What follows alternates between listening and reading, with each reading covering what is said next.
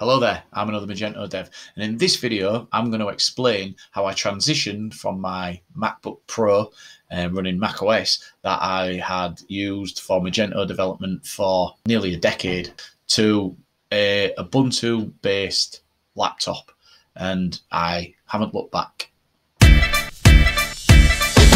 Before I say anything else, the, the main thing that I've found since the sort of switch over is how fast Magento actually runs on my machine now. Um, deploying static content takes a few seconds, definitely less than a minute. Um, I could have been waiting like five minutes sometimes for it to for it to all deploy. Um, just actual refreshing of a page, uh, refreshing of an auto reload, uh, even with you know the main cache is switched off, so you get that sort of uh, updating on on the fly, is just it's it's lightning quick and it's due in in no small part to Valet Linux.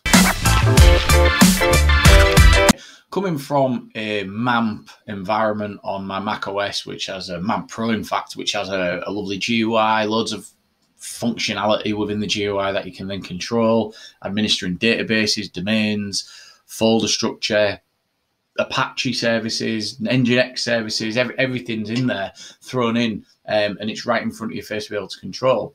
Um, it seems like the trade-off for that is is actual speed. Um, my instinct, as as it was with uh, a lot of things when I first sort of got my hands on my laptop with, with Ubuntu, was let me try and replicate what I had. It's not really the way to to do it, or the, the way from my experience now that advise do it. Go in there as lean as possible with regards to the amount of programs you're putting on there. Um, so I looked at WAMP and I looked at, sorry, I looked at AMPPS and I looked at XAMPP. And if I'm being honest, they're, they're dog shit. They're not even worth anything that promises a, a, a GUI for Ubuntu. I'd stay away from. And if, if it the Ubuntu's power is is its is its simplicity, and and utilizing the command line a lot is something that you you know it, it, utilizing the command line is something that you're gonna have to get used to. But as a Magento dev, you know it's not a bad skill to have, and you should get used to it. And um, so I gravitated towards Valet Linux Plus. I'd had a bit of experience with Linux on a on a Mac, but I got too many conflicts and problems, so I binned it. Um, but for, for the for, from from install to setup it's been an absolute dream. And and and it's it's so easy to use it's so lightweight. Um, and a site i'd advise to go to is valetlinux.plus and i would i would get it from there. I would definitely strip everything else out of your machine if you've tried XAMPP or AMPPS and get get rid of them um, and use this as your uh, main sort of the, the the thing that saves you your your development your local development environment Ubuntu. It runs MySQL. We all know this. We use it on servers. Uh, but it's the version of MySQL that might catch some people out and, and worth a mention as sort of one of the important points from moving from a Mac to Mac OS to um, Ubuntu is Ubuntu 20, which will be the one that, if you get it pre installed from a manufacturer, or even I'd advise if you download it, Ubuntu 20, the one you get only supports MySQL 8. Now, that might not sound like a big deal. It, it, it is if your database is a predominantly Magento 2 and they are coming from a lower version of MySQL. So as you can see, we've got MySQL 8 here.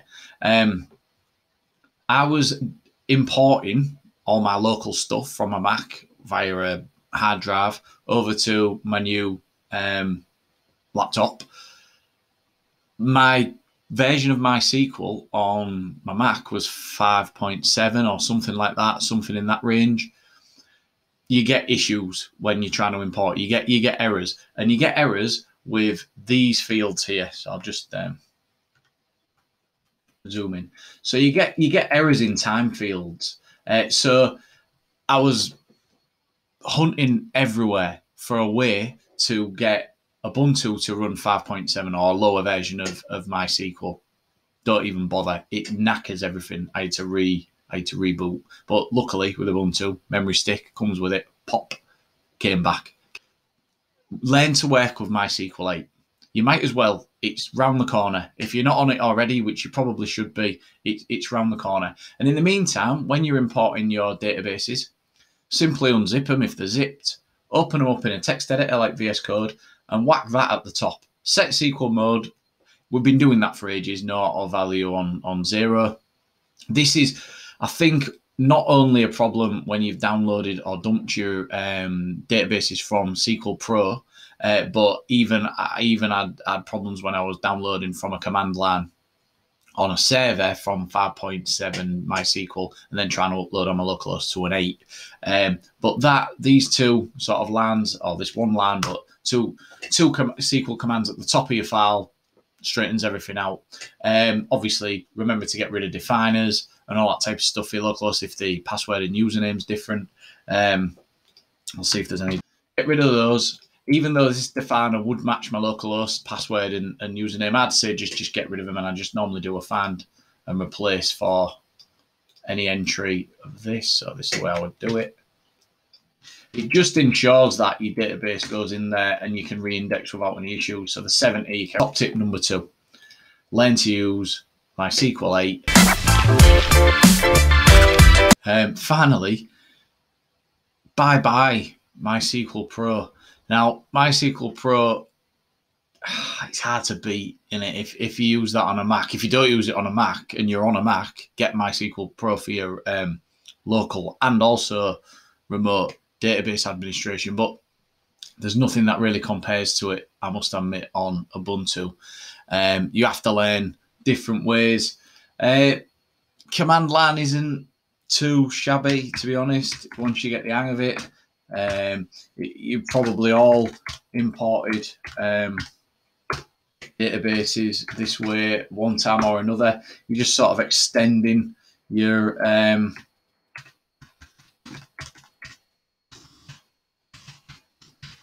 remit a little bit in terms of getting used to using like a CLI for for database admin. You can do like basic stuff in here, like create databases, um, show databases.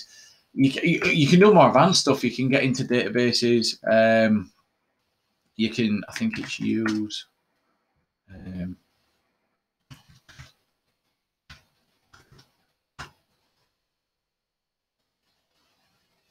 and you could do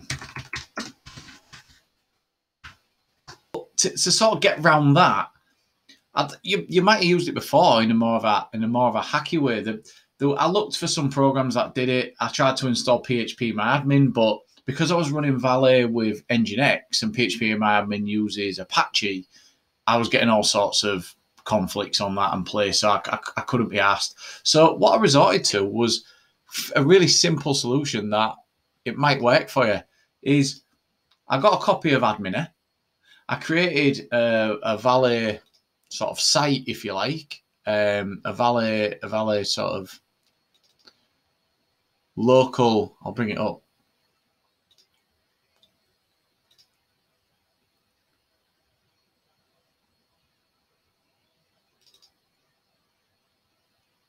I basically created a folder which acts as a site in Valet um, to host Adminer. And all I did was I changed the name to just tidy it up so it worked, you know, uh, to the root there.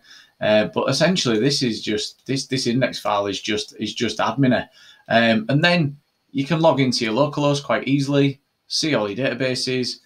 It has pretty much all the same functionality as what you'd expect from a database GUI. You know, once once you're in there, um, you can switch between databases, you can export them in all sorts of formats.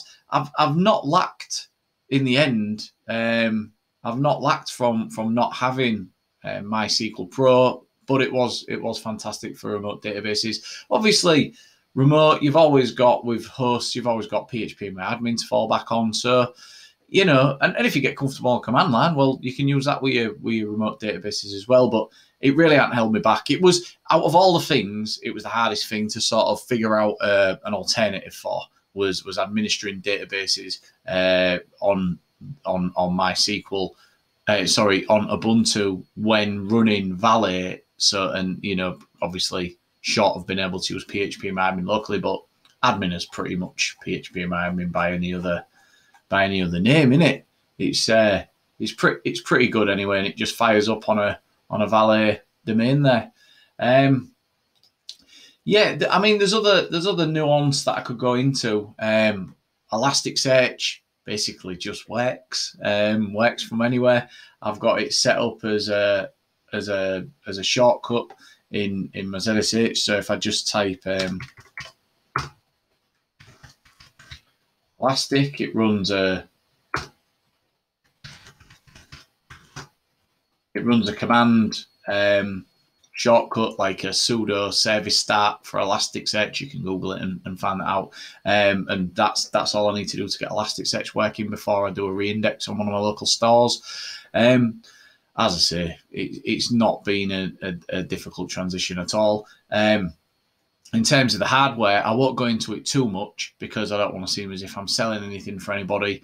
But um, I got probably twice the power of a standard MacBook Pro for half the price. Um, shop around, have a Google for um, the one I'd recommend, and by no way they're affiliated with this video at all, but have a Google of laptop with Linux. Um, I won't even bring it up. Just Google it, laptop with Linux, and and have a look at what they do because that's they're, they're, they're really really good in um, in my experience. Anyway, I hope you come over from Mac OS to Ubuntu soon. Um, and all all of you take care.